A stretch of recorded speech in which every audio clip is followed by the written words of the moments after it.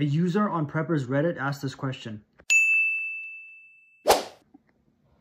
How do I start? I got nothing other than a USB with some emergency files, medical ebooks, handbooks, navigation, hunting, basically everything. I have downloaded a GPT. No weapons or food stored yet. I won't get weapons, they're illegal where I am. Getting a license for one is very hard. Also, I have zero experience, don't swear at me or give me a ton of downvotes if I mess up. My last post sent me negative 120 downvotes. So it's basically a new prepper with nothing other than just a few ebooks and they want to know what they should buy first. And again, just like last time, the responders were completely useless. There are a whole bunch of people trying to overcomplicate things to make themselves look smart. They're talking about different terrains, climates, threat models, what country you live in, what you're prepping for, and all this other stuff.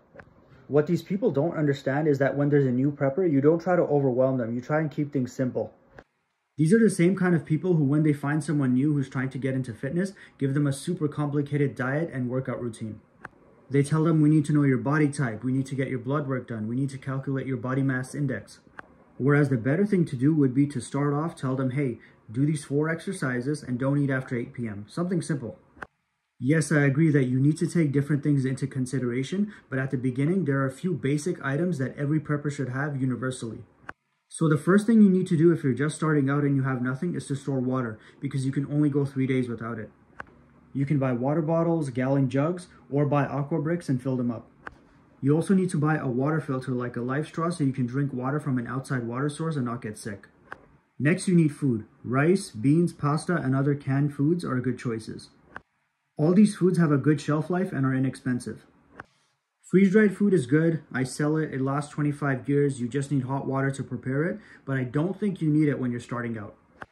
When you're buying food and storing water, you don't have to buy everything at once. Buy one or two items every week. Start off slow. First get your three-day supply of food and water, then your three-week, then your three-month, and so on. Next, you need a NOAA emergency radio. This way you could get news and alerts during an emergency. You should also have a few flashlights, lanterns, and their batteries. A good solar USB charger for all your devices. You need a good quality fixed blade knife. This will be handy in many different survival situations. Fire starting items like a flint striker, lighters, and matches. Having a few candles is a good idea as well. A good quality first aid kit will come in handy in every type of emergency. A sleeping bag and a tent in case you have to evacuate your home and sleep outside. In case your stove at home stops working or you don't have access to it anymore, you need a propane stove and propane heater. Once you have most of the stuff that I mentioned, then you've covered the basics and you're well prepared for most scenarios. If you have any other suggestions for beginner preppers, let me know.